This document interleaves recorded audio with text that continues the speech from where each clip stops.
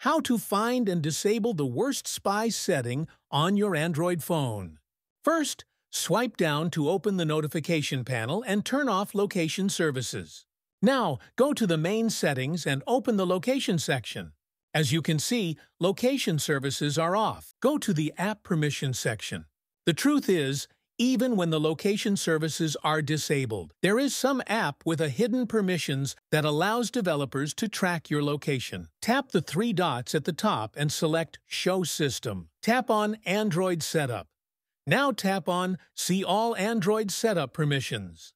At the top, tap the three dots again and select All Permissions. Right here, tap on Access Location in the background. And look at this. It clearly says this app can access your location anytime, even when you're not using it. So even if location is off, they're still tracking exactly where you are. That's why you need to set the location permissions to Don't Allow.